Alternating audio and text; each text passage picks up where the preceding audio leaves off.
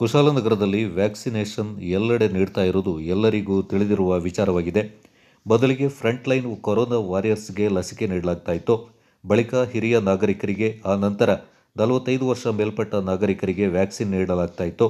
ಆದರೆ ಇದೀಗ ವಿದ್ಯಾರ್ಥಿಗಳಿಗೂ ವ್ಯಾಕ್ಸಿನ್ ನೀಡುವಂತೆ ಸರ್ಕಾರ ಸೂಚಿಸಿದ್ದು, ಕೊಡಗು ಜಿಲ್ಲೆಯಲ್ಲಿಯೂ ಕುಶಾಲನಗರದ ಸರ್ಕಾರಿ polytechnic college, Madikeri FMC college ಮತ್ತು ವಿವಿಧ ಶಾಲಾ ಕಾಲೇಜುಗಳಲ್ಲೂ ವಿದ್ಯಾರ್ಥಿಗಳಿಗೆ ವ್ಯಾಕ್ಸಿನೇಷನ್ ನೀಡಲಾಗ್ತಾ ಇದೆ.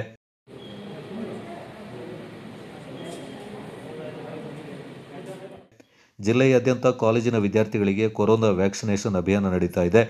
ಕಾಲೇಜಿನಲ್ಲಿ ವಿದ್ಯಾರ್ಥಿನಿಯರಿಗೆ registration counter, waiting room, vaccination ಕೊಠಡಿ ನಿರ್ಮಾಣ ಮಾಡಲಾಗಿದ್ದು, ಜಿಲ್ಲಾ ಆರೋಗ್ಯ ಇಲಾಖೆಯ ಸಿಬ್ಬಂದಿ, ಆಶಾ ಕಾರ್ಯಕರ್ತರು ಕರ್ತವ್ಯದಲ್ಲಿ ತೊಡಗಿಸಿಕೊಂಡಿದ್ದಾರೆ. ನನ್ನ ಹೆಸರು ಡಾಕ್ಟರ್ ರಕ್ಷಿತ್ ಅಂತ. ಕೃಷ್ಣ ವೈದ್ಯಕಾರಿ ಈಗ ಎರಡು ವರ್ಷದಿಂದ ಕಾರ್ಯನಿರ್ವಹಿಸ್ತಿದ್ದೀನಿ ಇವತ್ತು ಸರ್ಕಾರಿ ಪಾಲಿಟೆಕ್ನಿಕ್ ಕಾಲೇಜ್ ಕೃಷ್ಣನಗರದಲ್ಲಿ ವ್ಯಾಕ್ಸಿನೇಷನ್ ಅಭಿಯಾನ ಇದೆ, ಲಸಿಕಾ ಅಭಿಯಾನ. ಅದಕ್ಕೋಸ್ಕರ ನಮ್ಮಲ್ಲಿ ಡ್ಯೂಟಿಗೆ ಹಾಕಿದ್ದಾರೆ.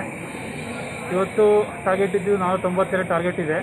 ಬಟ್ ಮಕ್ಕಳು ವೆಹಿಕಲ್ ಕಾರಣ ತುಂಬ ಸ್ವಲ್ಪ ಇನ್ನೂರು ಜನ ಎಲ್ಲ ಬರ್ತಾ ಇದ್ದಾರೆ. ನೃತ್ಯ ಲಸಿಕಾ ಕಾರ್ಯಕ್ರಮ ಸುಗಮವಾಗಿ ಸಾಗ್ತಾ ಇದೆ. ಟೋಟಲ್ ಆಗಿ ನಮ್ಮ ಈ ಸೋಮಪೇಟೆ ತಾಲೂಕಲ್ಲಿ ಇಪ್ಪತ್ತು ಕಾಲೇಜಿಗೆ ನಾವು ಟಾರ್ಗೆಟ್ ಹಾಕಿದ್ದೀವಿ. ಅಂದರೆ ಇಪ್ಪತ್ತು ಕಾಲೇಜ್ ಇದೆ.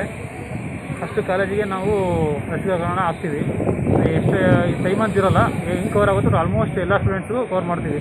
ಏನು ಕಾಲೇಜ್ ಓಪನ್ ಮಾಡೋ ಕಾರಣದಿಂದ ಎಲ್ಲ ಕಾಲೇಜಿಗೂ ನಾವು ಸ್ಟೂಡೆಂಟ್ಸಿಗೆ ಹೋಗಿ ನಾವೇ ಹಾಕ್ತೀವಿ ಕೂಡಿಗೆಯಲ್ಲಿ ಅಂದರೆ ಕೂಡಿಗೆಯಲ್ಲಿ ಸುಮಾರು ಒಂದು ಏಳು ಕಾಲೇಜ್ ಬರುತ್ತೆ ಕೂಡಿಗೆ ಅಂಡರಲ್ಲಿ.